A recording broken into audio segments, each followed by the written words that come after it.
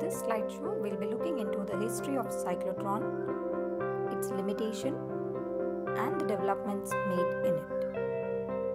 The first slide shows you two great scientists who invented the cyclotron in the year 1934. It is a 27 inch cyclotron.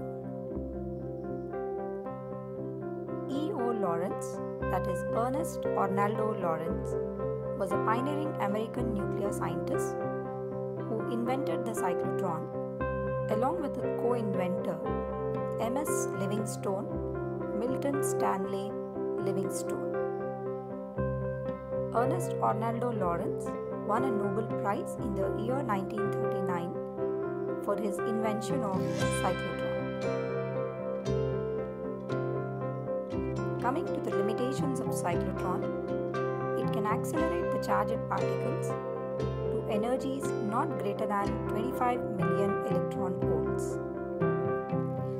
The other limitation is as the particles move with high speed and the speed approaches the speed of light, mass increases. As mass increases, frequency decreases according to the relation given below. This violates the resonance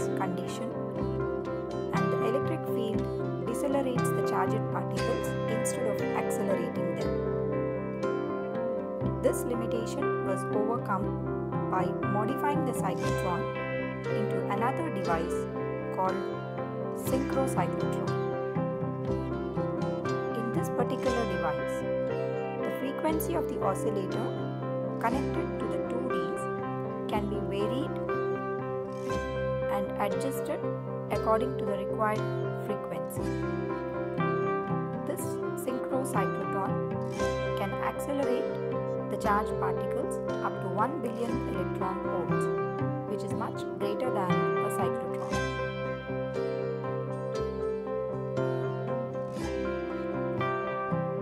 Another way of increasing the frequency of oscillations is by making use of a varying magnetic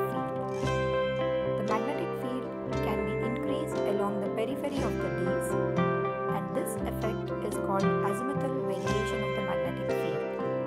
The accelerators which operate in this way are called as isochronous or azimuthally varying